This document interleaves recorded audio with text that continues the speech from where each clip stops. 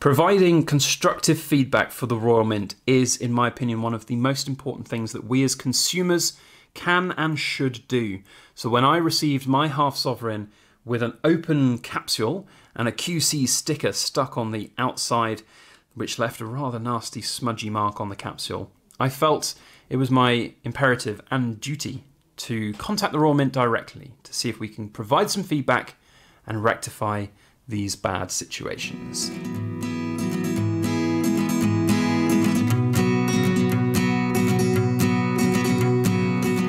Everybody, Backyard Bullion here, and a warm welcome to all joining me for another precious metal ramble. Although today, I suppose, technically, we're talking about plastic in the form of capsules, dodgy capsules, loose capsules that have come from the Royal Mint. Now, I don't want this to just be a rant and a moan and a you know video that's just all negative. I want this to be an open letter feedback exercise for anybody at the Royal Mint that watches. I know there are people within the exec team which are dealing with these issues because I've fired off emails to the CEO, to the head of operations, and there are people who are in contact with me on a fairly daily basis at the moment, which is really good. The lines of communication are open about this issue.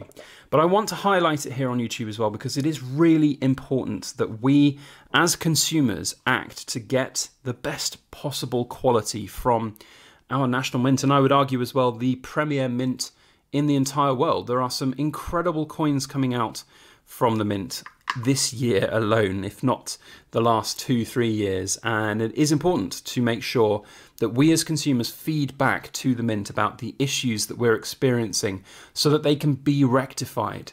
A lot of people have called for just a flat boycott of the Royal Mint because of their poor quality control. And I think that's ultimately a really counterproductive argument for a few reasons. The first being, yes, it's disappointing when you get a bad coin, and it does seem like sometimes you might get more than one bad coin in a row. And I've had two deliveries in a row now where these coin capsules, these new style of coin capsules, were loose and the coin was rattling around. Fortunately for this half sovereign, it's perfect. I've had a look under a loupe and I can't see any issues on it, so I think I've dodged a bullet there.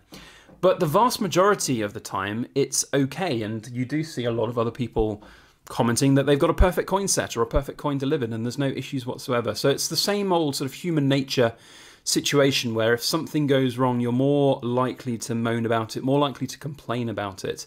Um, but it is important to do that when things are not right. And I felt that when I got this second coin with a loose capsule in addition to uh, the loose capsule, I had a quality control sticker stuck on the back of the capsule as well. Uh, and I'll show you a few pictures of that in a moment as we go. But it was, you know, a bit ironic really to have that QC sticker right on the back of the loose and open capsule. So, as I said, the objective of this video is not really just to shout at the Royal Mint and moan about it and, uh, you know, make drama out of it. This is an open feedback communication because I know I'm not just speaking for myself when there are a number of people who are expressing their disappointment when they open their what is very expensive proof coin set and find that it is either damaged or less than perfect because of one of the most single simplest things in the coin world, a capsule.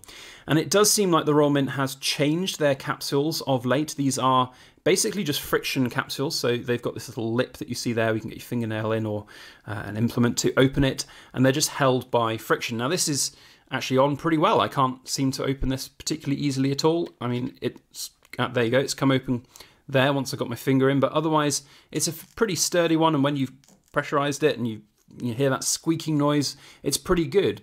But you know, it does seem like a little bit of maybe movement in the post has caused that to open, and that's definitely an area of feedback for the Royal Mint. These capsules, certainly for me, have not been an isolated incident, and I've seen a number of other people as well who've been reporting and sharing photos of loose capsules upon delivery. Now, the older capsules that they had, the screw top ones, were just fine, and it's interesting to know why those have perhaps changed. Uh, some people have said perhaps these capsules are cheaper.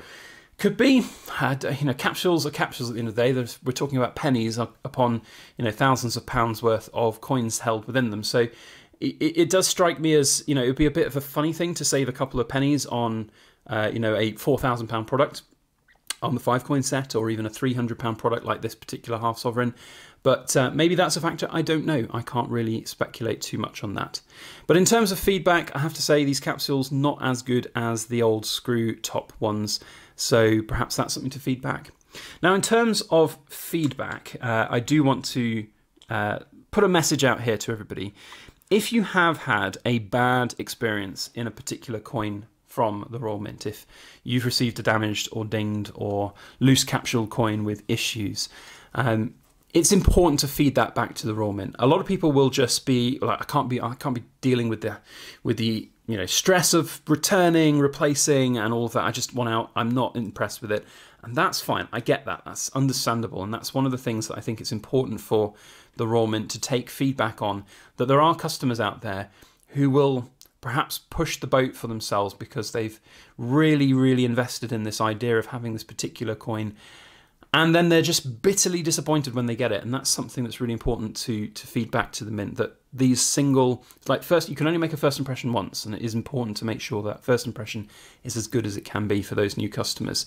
Now for a weathered and seasoned royal mint you know procurer of coins like myself um, i can quite happily make these kind of videos all day long, talk about the quality control, sending it back, making sure we get the right kind of replacement coins.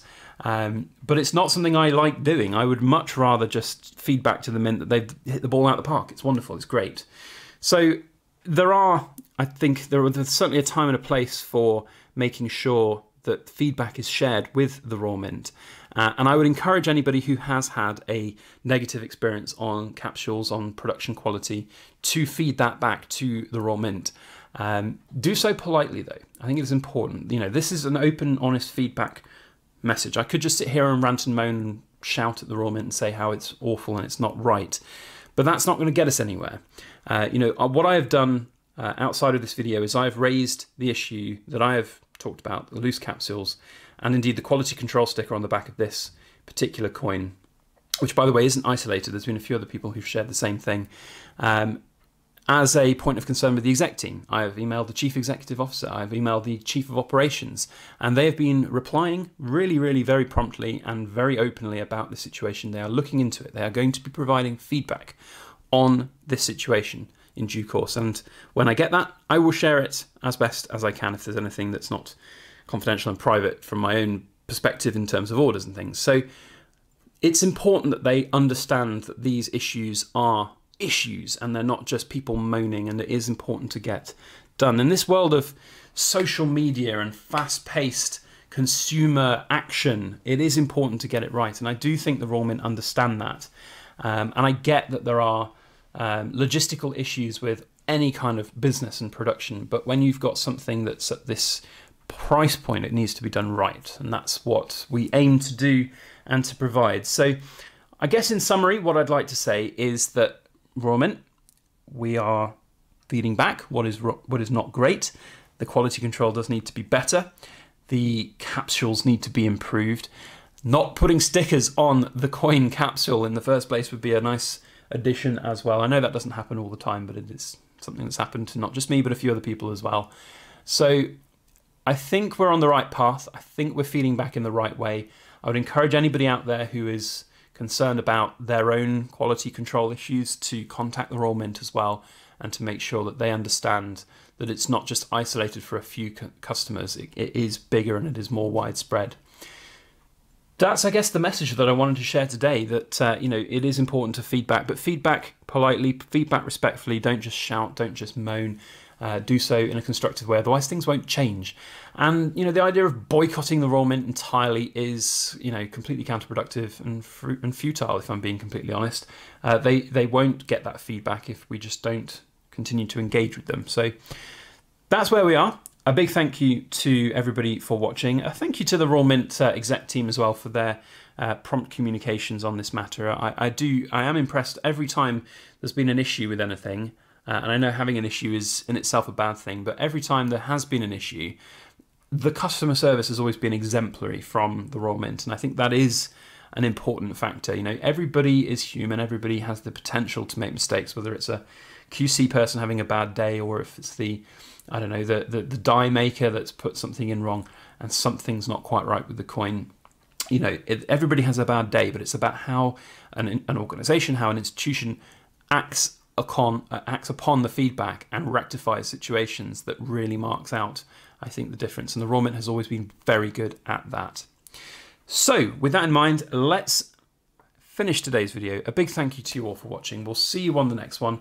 Uh, if you've enjoyed this content, please do make sure you hit that subscribe button and like button. It really does help everything we do here on YouTube. Otherwise, we'll see you next time. As always, please make sure that you like, share, comment, and subscribe for more.